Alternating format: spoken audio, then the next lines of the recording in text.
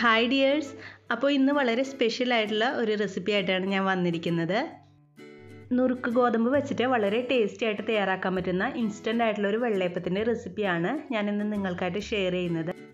നുറുക്ക് ഗോതമ്പ് വെച്ചിട്ട് നമ്മൾ സാധാരണയായിട്ട് പായസവും ഉപ്പുമാവൊക്കെയാണ് തയ്യാറാക്കാറ്. അപ്പോൾ നുറുക്ക് ഗോതമ്പ് വെച്ചിട്ട് ഇതുപോലെ ടേസ്റ്റി ആയിട്ടുള്ള വെള്ളയപ്പം നമുക്ക് തയ്യാറാക്കി എടുക്കാനായിട്ട് പറ്റും. അതും ഇൻസ്റ്റന്റ് ആയിട്ട്. അപ്പോൾ നമുക്ക് വീഡിയോയിലോട്ട് പോവാം. നമുക്ക് എല്ലാവർക്കും ഫ്രീ ആയിട്ട് കിട്ടിയ റേഷൻ കിറ്റിലെ നുറുക്ക് ഗോതമ്പ് വെച്ചിട്ടാണ് ഞാനിതിപ്പോൾ തയ്യാറാക്കുന്നത്. മൂന്ന് കപ്പ് നുറുക്ക് ഗോതമ്പ് വെള്ളത്തിലിട്ടിട്ട് നന്നായിട്ട് കുതിർത്തി എടുത്തിട്ടുണ്ട്. ഞാനിപ്പോൾ രാത്രി കുതിർത്തിയിട്ട് രാവിലെയാണ് യൂസ് ചെയ്യുന്നത്. ഇനി ഇത് നമുക്കൊരു മിക്സിയുടെ ജാറിലേക്ക് ഇട്ട് കൊടുക്കാം. അതിനുശേഷം നമ്മൾ ഇതിലേക്ക് ഒരു കപ്പ് തേങ്ങയും ഒരു കപ്പ് ചോറും ചേർത്ത് കൊടുക്കുന്നുണ്ട്. നിങ്ങൾ യൂസ് ചെയ്യുന്ന ഏത് അരിയാണോ അതിന്റെ ചോറ് നമുക്ക് ചേർത്ത് കൊടുക്കാം.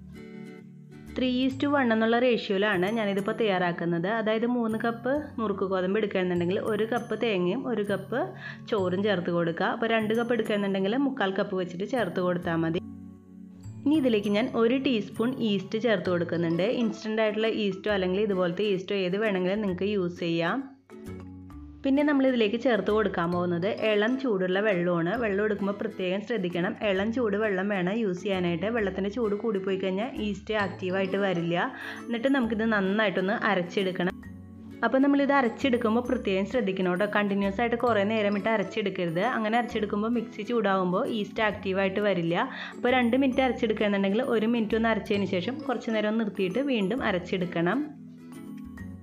ഇപ്പം ഞാൻ അതുപോലെ നന്നായിട്ടൊന്ന് അരച്ചെടുത്തിട്ടുണ്ട്. ഇനി നമുക്കിതൊരു പാത്രത്തിലേക്ക് മാറ്റാം. എയർ അധികം കയറാത്ത രീതിയിൽ ഒരുവിധം അടച്ചുറപ്പുള്ള ഒരു പാത്രത്തിലേക്ക് വേണം കേട്ടോ ഇത് ഒഴിച്ചു കൊടുക്കാനായിട്ട്.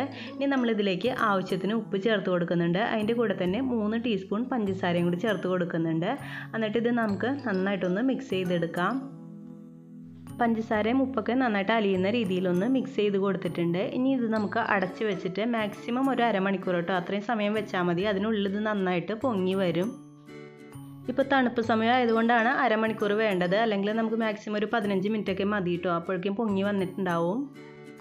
എയർ ഒട്ടും കയറാത്ത രീതിയിൽ വേണം കേട്ടോ അടച്ച് വയ്ക്കാൻ എന്നാലേ പെട്ടെന്ന് പൊങ്ങി വരുള്ളൂ. ഇപ്പോൾ അരമണിക്കൂർ കഴിഞ്ഞിട്ടുണ്ട്. ഇത് അത്യാവശ്യം നന്നായിട്ട് പൊങ്ങി വന്നിട്ടുണ്ട്. ഇനി ഇത് നമുക്കൊരു പാനിലേക്ക് ഒഴിച്ചിട്ട് വെള്ളയിൽ പോയിട്ട് ചുട്ടെടുക്കാം.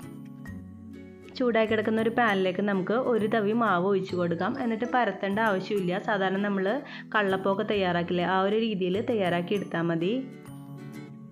കണ്ടു? ഇപ്പം നന്നായിട്ട് ഹോൾസൊക്കെ വന്ന് തുടങ്ങിയിട്ടുണ്ട്. ശരിക്കും പുളിച്ച് പൊങ്ങിയ രീതിയിൽ തന്നെ കിട്ടും നമുക്ക് ഈ ഒരു അപ്പം. ഇനി ഇത് അടച്ചു വെച്ചിട്ട് നമുക്ക് വേവിച്ചെടുക്കാം. ഇപ്പോൾ നമ്മുടെ ആദ്യത്തെ അപ്പം തയ്യാറായിട്ടുണ്ട്. വളരെ സോഫ്റ്റ് ആയിട്ടുള്ള ഒരു അപ്പം ഉണ്ട് ഇത്. നല്ല പഞ്ഞി പോലെ ഇരിക്കുന്നത് ഇത് കഴിക്കാനായിട്ട്. അതുപോലെ തന്നെ നല്ല ടേസ്റ്റിയുമാണ്. നമ്മളിതിലേക്ക് തേങ്ങയും പഞ്ചസാരയൊക്കെ ചേർത്തുകൊണ്ട് ശരിക്കും നല്ല ടേസ്റ്റി ആയിട്ടാണ് വരുന്നത്.